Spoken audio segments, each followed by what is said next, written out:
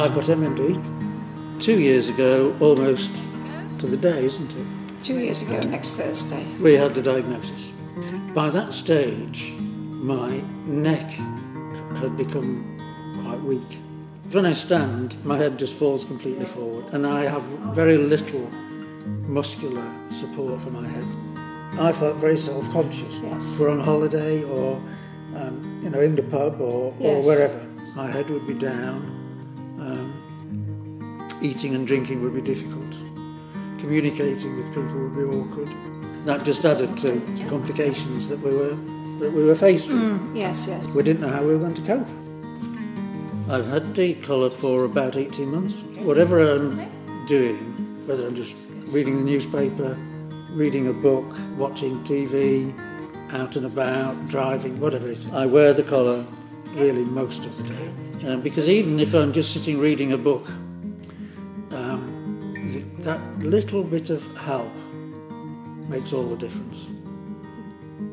The head up collar is um, a novel neck support device that has been created um, by a team of people that included designers, patients, families, and its unique selling point is the fact that it provides support but allows movement and it's adaptive to people's needs.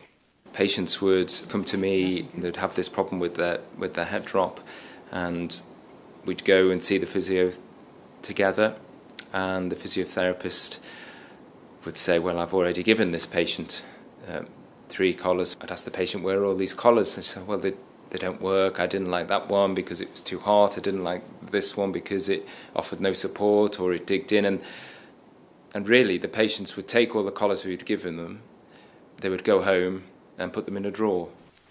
The design of the head up collar allows freedom of movement whilst giving support to that person. So it's made up of a snood that fits around the neck and then a series of different supports that can be added to it dependent on where the person needs and requires that support. So the idea is this is a product that can be completely customised to the patient's needs and requirements and that's a huge benefit and beauty of the actual collar and its design. Hey, hey. Lovely afternoon.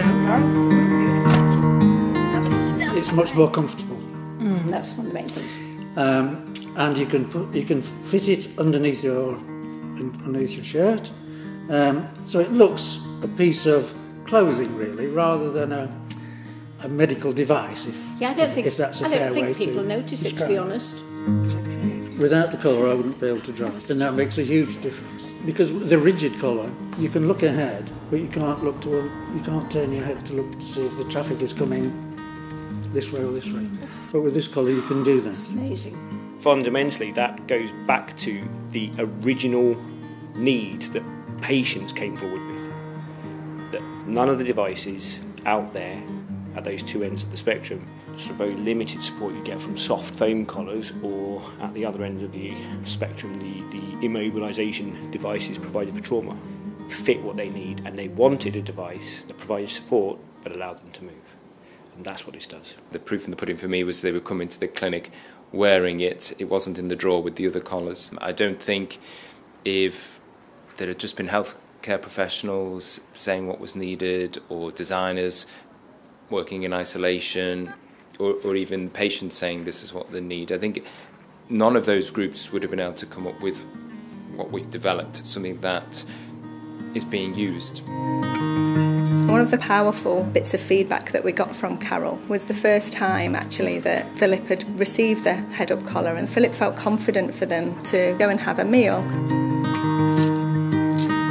It was actually the first time in a long time um, that they're able to sit across a table and actually hold eye contact. I think we all kind of shed a tear actually. It was quite an emotional moment to hear that um, directly from a patient and a patient's wife as to the impact of the head up collar.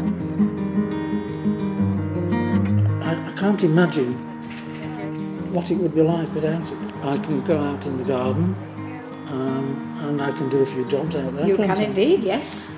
Going to town, we go to the, we're going to the theatre. It's just like it's life changing, I really. just don't think I could contemplate life without you having that now.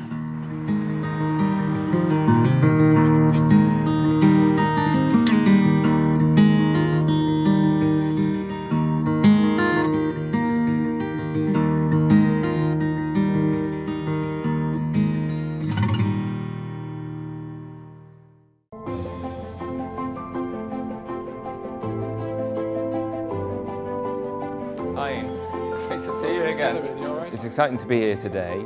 I would say it's five years of work which have led to this point from the initial ideas that came from, from patients um, about not having uh, you know, a, a, sort of neck support that was fit for purpose that they wanted to use. So patients driving the research and then feeding into the concept development, true partnership we had with patients. And then the sort of development and the evaluation which has gone on since then. And here we are, and I've held in my hand today for the first time uh, the final product uh, that's going to be available on the NHS to patients tomorrow. It's really great. TalarMade approached us because they'd, they'd heard about the collar and were, were interested in it. It feels just right that it, it's been designed here um, in Sheffield and we're working with a commercial partner uh, in the area as well. what they've brought uh, to the product is, I think, has taken it to uh, the next level.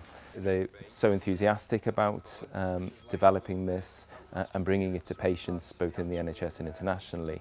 And they've brought several design innovations, uh, which are real improvements.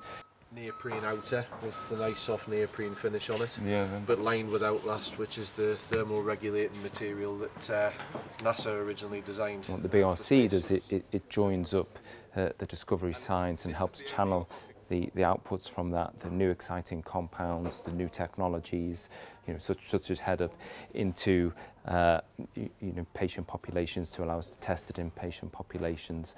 And then as we're, as we're seeing with the head up project, it, it then allows us to begin to make commercial partnerships uh, to you know, make sure that we realise the full potential of what we've developed earlier in the pathway.